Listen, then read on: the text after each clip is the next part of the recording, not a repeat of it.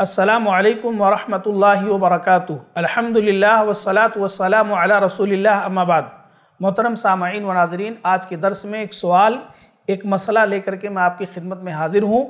उसी को समझने की और उसी को हल करने की कोशिश करते हैं। वो मसला क्या है? वो मसला है कि मैत के घर वालों का चूल्हा जलाना जायज़ है या नहीं? क्योंकि हमारे माशरे में देखा जाता है कि जब किसी का इंतकाल हो जाता है तो एक बात बहुत आम है कि उन घर वालों के लिए चूल्हा जलाना, खाना पकाना ये जायज़ नहीं है। मौजूदा माशरे में अगर किसी की तरफ़ से ऐसा हो जाए, यानी किसी का इंतकाल हुआ है किसी के घर में, और उन घर वालों ने अगर खाना बना लिया, चूल्हा जला लिया तो मुमकिन है कि हमारे माशरे में लोग ऐसे घर वालों के ख़िलाफ़ कुछ ऐसी बातें कहें जो इस्लाम में जायज़ नहीं है। यानी हो सकता है ये कहें कि इन घर वालों ने गुनाह का काम किया है, इन्होंने जो ये खाना बनाया या चूल्हा जलाया है ये जायज़ नहीं था इन्होंने जो काम किया है। हालाँकि इसकी सच्चाई क्या है, ये हमें मालूम करनी चाहिए।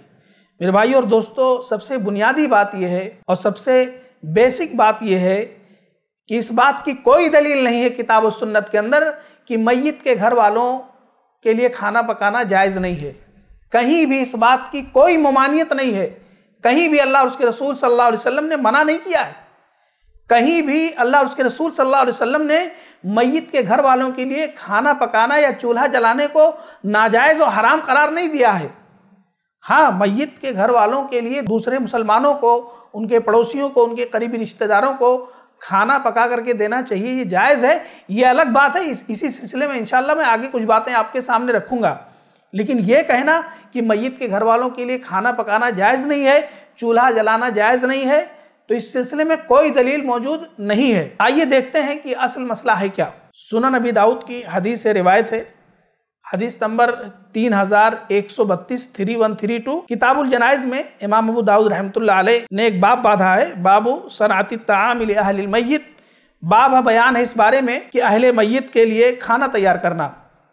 यानी इमाम अबू दाऊद रहमत बाब बात करके ये बताना चाहते हैं कि अहले मैत के लिए यानी मैत के घर वालों के लिए खाना पकाना ये जायज़ और दुरुस्त है। यानी दूसरे लोग खाना पका करके दें, ये जायज़ और दुरुस्त है। ये किस मौके से है? ये असल में जाफ़र तैयार रदी अल्लाह तु यानी जाफ़र बिन अभी तालिब रदी अल्लाह तु की शहादत के मौके से मसला है। आप जानते हैं, मशहूर साहबी रसूल हैं, जाफ़र बिन अभी तालिब रदी अल्लाह तु जो हज़रत अली रदी अल्लाह तु के भाई हैं, और इसी तरीके से आपने हफ्शा की तरफ़ हिजरत की थी। और नजाशी और उसके मुतबईन ने इन्हीं के हाथों पर इस्लाम कबूल किया था। वहाँ पर जो जाफ़र तैयार तु की तकरीर हुई थी, वो हम सब जानते हैं। लाजवाब तकरीर आपने वहाँ की थी नजाशी बादशाह के सामने। इसी तरीके से हयत जाफ़र अल्लाह तु की शहादत होती है गजव मोता में, जो सन आठ हिजरी में पेश आया।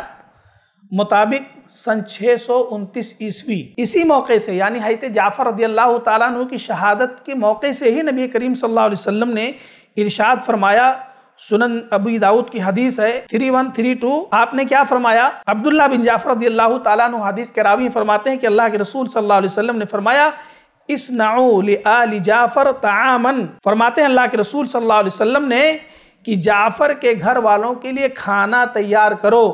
जाफ़र के घर वालों के लिए खाना पकाओ, बनाओ, तैयार करो। क्यों? इसलिए कि आप सल्लल्लाहु अलैहि वसल्लम फरमाते हैं फ़ैन कद अताहुम अमरुन शगलहुम। फरमाया, क्योंकि उन पर ऐसी हालत आन पड़ी है जिसने उन्हें मशगूल कर दिया है। यानी गम और हुजन की वजह से वो आज बहुत ज़्यादा परेशान हैं। उनकी हालत ऐसी है कि जो शहादत हुई है जाफ़र अल्लाह तु की, इसकी वजह से वो गम में हैं। तो चाहिए कि तुम जाफ़र रदी अल्लाह तु के घर वालों के लिए खाना पकाओ। इस हदीस में गोया कि अल्लाह के रसूल सल्लल्लाहु अलैहि वसल्लम ने इस बात का हुक्म दिया कि मुसलमानों को चाहिए कि जाफ़र अल्लाह तु के घर वालों के लिए खाना पकाएँ, खाना तैयार करें। अब इसमें कोई ख़ास मामला नहीं है कि कौन सा मुसलमान खाना बना करके देगा। हाँ ये और बात है कि अल अकरब अकरब के तहत पड़ोसी ये हकदार हैं, बहुत ज़्यादा हकदार हैं, जो हमेशा पड़ोस में रहते हैं, साथ में रहते हैं। इसी तरीके से जो करीबी रिश्तेदार हैं, वो ज़्यादा हकदार हैं कि मैत के घर वालों के लिए खाना बनाएँ। और तमाम मुसलमान इसमें शामिल हैं। बहुत सारे लोग आज ये समझते हैं कि रिश्तेदारों के ऊपर ये ज़रूरी है, वाजिब है, फ़र्ज़ है कि वही खाना बना करके दें, दूसरे लोग खाना पका करके नहीं दे सकते हैं। ये सोच भी सही नहीं है, क्योंकि इस तरह से ख़ास कर देने से मसला क्या होता है कि जब कहीं मैत के आसपास उनके रिश्तेदार मौजूद ना हो तो दूसरे लोग इस हुक्म से अपने आप को बरी समझते हैं और वो फिर मैत के घर वालों के लिए कुछ भी नहीं करते हैं, बल्कि वो अपनी ज़िम्मेदारी इसको नहीं समझते हैं। तो बहरहाल, तमाम मुसलमानों के लिए जायज़ है कि मैत के घर वालों के लिए खाना बनाए। यहाँ पर जो ये कहा गया कि मैत के घर वालों के लिए खाना पकाएँ तो ये नबी करीम सल्लल्लाहु अलैहि वसल्लम ने इस बात का हुक्म दिया, ऐसा हमें करना चाहिए। लेकिन इसका मतलब ये नहीं है कि आज के जो मुबतदीन हैं, बिदात करने वाले लोग हैं, जैसे कि वो लोग क्या खाना बनाते हैं? तीजा, उल, चालीसवां, सातवीं, ये सारे लोग जो खाना बनाते हैं, इसका कोई सबूत नहीं है। सिर्फ़ जिस दिन मैत का इंतकाल हुआ है, उस दिन मैत के घर वालों के लिए खाना पकाने की और बनाने की बात हो रही है। तो सिर्फ़ उस दिन की बात हो रही है। मैत के अकारिब और पड़ोसियों के लिए ख़ास तौर पर इसका ख्याल रखना चाहिए। इस हदीस से ने इस्तदलाल करते हुए लिखा है कि मैत के घर वालों के लिए कम अज़ कम एक वक्त का या दो वक्त का खाना बना करके दूसरे मुसलमानों को देना चाहिए, उनके रिश्तेदारों को देना चाहिए। अलबत्ता ने मना किया है कि तीन दिनों तक जो हमारे माशरे में एक बात कही जाती है ना कि तीन दिन तक सोग मनाना इस्लाम में जायज़ है तो जहाँ तीन दिन तक सोग मनाने की बात है, वहाँ तीन दिन तक गम का इजहार करना है। तीन दिन तक किसी खुशी का इजहार नहीं करना है, कोई खुशी वाले काम नहीं करने हैं। गम का इजहार करना है, ना कि खाना नहीं बनाना है। खाना पकाना, बनाना एक अलग मसला है और गम का इजहार करना, यानी कोई खुशी वाला काम ना करना या बहुत ज़्यादा दुनिया में मशगूल कर लेना अपने आप को, ऐसा लगे नहीं कि आपके घर में किसी का इंतकाल हुआ है।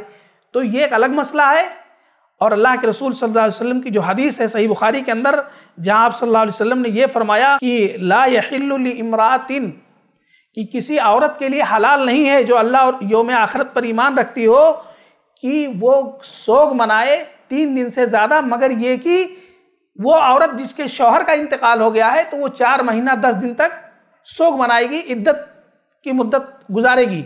जैसा कि कुरान के अंदर इसकी वजाहत है।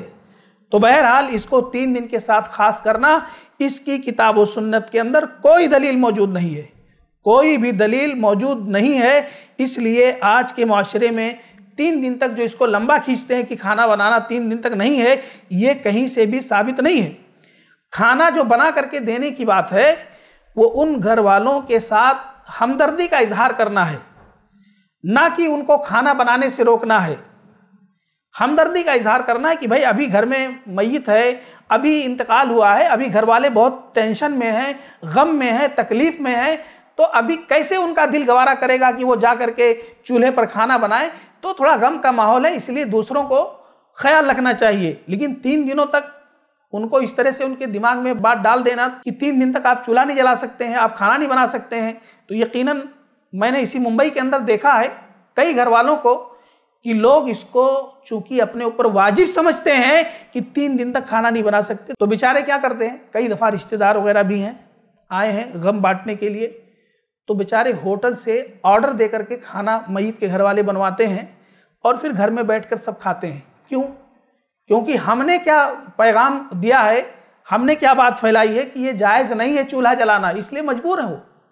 तो ये बात सही नहीं है, बल्कि ज़रूरी है कि अगर घर में मेहमान है और किसी की तरफ़ से खाना आने का कोई इम्कान नहीं है, जैसा कि ख़ास तौर पर शहरों में होता है तो मईद के घर वालों को खाना बनाना चाहिए, जैसा कि मैंने शुरू में कहा कि नाजायज़ ममानियत की, हराम होने की कोई दलील नहीं। अल्लाह के रसूल सल्लल्लाहु अलैहि वसल्लम ने मना नहीं किया चूल्हा जलाने से। बहरहाल, इस सिलसिले में एक फतवा मैं आपके सामने नकल करता हूँ। मौलाना मोहम्मद अब्दुलरहमान मुहदस मुबारक पूरी रहमत लिखते हैं, जो साहिब तोहफ़तुल अहवदी हैं हम सब जानते हैं आपकी शख्सियत हमारे दरमियान मरूफ है। वो इस हदीस को बयान करने के बाद लिखते हैं कि यहाँ जो अल्लाह के रसूल सल्लल्लाहु अलैहि वसल्लम ने कहा है कि जाफ़र रदी अल्लाह तु के अहल अयाल के लिए, उनके घर वालों के लिए खाना बनाओ। इस वास्ते कि उनको ऐसी खबर मिली है कि उनको खाना बनाने से रोकती, यानी गम का मामला है।